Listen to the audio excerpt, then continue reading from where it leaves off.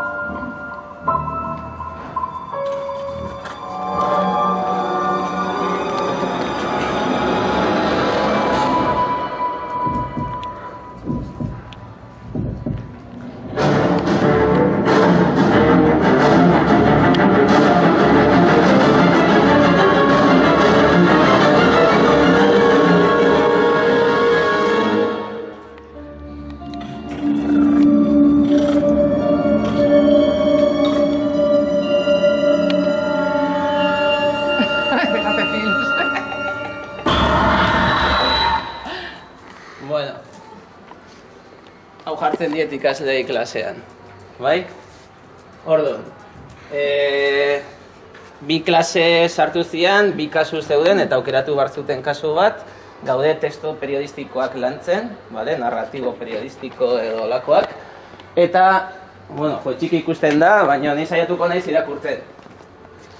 Hasi ja apunteak hartzen, vale? Ze dago hilketa bat, eta bukaeran esango dugun zein da hitzailea. Vale, irakurriko dut. Eh, tus instrucciones son muy claras. Te vas a trasladar al 27 de noviembre, apunta tú, eh, 27 de noviembre, casi la becera, de 1852. Es la escena del asesinato de Ada Lovelace, una de las mejores matemáticas y programadoras de la historia. Ha aparecido muerta en su casa familiar de Londres y hay tres sospechosos. El mayordomo, claro, el jardinero de la casa y su misma madre. Un programa informático analiza los detalles del lugar y te dará un informe completo, léete las misiones y demás. ¿Vale? Aurrera jarraituko dugu eta behaiek prozesu bat, instrukzio batzuk irakurrita iristen dira web horri aldera eta hor dago erdian matematikaria eta pista batzuk. Vale? Laban bat, eh, bueno, hor ikusten dezutena. Bai. Labana. Bigarren datua. No cabe duda que este es el objeto con el que se produjo el asesinato. La víctima presenta una cuchillada que se produjo desde una altura considerable y desde arriba a la izquierda hacia abajo a la derecha, atravesando el torso de la científica. El cuchillo procedía de la cocina de la vivienda familiar. Bigarren pista. La pobre Amacho. La huella pertenece a la madre de la matemática. Es una anciana de 1,56 de altura que, según contó el mayordomo, tuvo una acalorada discusión con su hija la noche anterior al asesinato, lo cual la convierte en uno de los sospechosos principales. Aurrera. El jardinero. La tierra pertenece al jardín familiar, lo que nos lleva al jardinero. Al ser preguntado por su coartada, el jardinero nos aclaró que en el momento del asesinato se encontraba fuera de la casa sembrando petunias. Parece ser que la matemática no estaba feliz y había amenazado con despedirle en breve. Las petunias son plantas anuales originarias de Sudamérica, pueden llegar a alcanzar una altura de unos 30 centímetros y son ideales para cultivar en macetas y jardineras. Las semillas de la petunia las tenemos que sembrar durante la primavera. ¿Vale? Urrengo A. Herencia. Hemos descubierto la existencia de un contrato de herencia en la que uno de los principales beneficiados es el mayordomo de la casa. Siempre es el asesino, el mayordomo. Este podría haber sido el móvil del asesinato. En el momento del crimen dice haber estado realizando las compras para la comida. Nos llamó la atención su profesionalidad, pues al pedirle firmar un documento lo hizo con su mano derecha sin soltar en ningún momento la bandeja que llevaba en la izquierda. Impresionante. Bueno, holako txosten bat dakate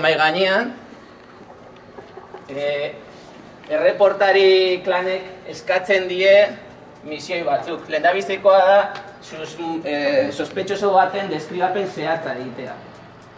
Bai? Bigarrena berria idaztea, datu guztiak hartuta berri bat sortzea, eta hirugarrena argudiozko testu bat. Vale? Zein da giltzailea eta zergatik eta bestiak zergatik ez diren. Vale? Arazo pare bat zeuden hor, gaude kompetentzietan, eta lehendabiziko da kontekstualizazioa. 15 de 21 dijeron que suele llevar una bandeja en la mano el camarero. En la descripción zehatza. Bai, eskatzen zaie, deskribapen bat jakiteko nola da, eta esaten dute bandeja dara mala. E, beste kasu batean, Zeon Cervantes deskribatzeko, eta lepoan daramana hiruk esan zuten le, letxugila dala, hoi bere izena da. Gorgera esan zuten, esan zuen bat, batek. Eta besteak esan, bat, behatzi ez zuten aipatu, hiru bufanda esan zuten, bat, cosa del cuello, bat, accesorio del cuello, kultoago, bat, kollarin, eta bi, flotador. Bai, ezian gai, ordenagailoa aurrian izan da, bilatzeko informazioa jakiteko izena duen katxarro horrek. Hor kompet- kompetentziak ikusten dira. Bai? Bueno, eta nor da hitzailea? E... Zerok esan zuten ama. Bostek, mayordomo. Eta ama bost, jardinero. Hoietatik sei argudioa ondo eman zuten, beste guztiak ez. Bai? Eta hitzailea noski, zein da?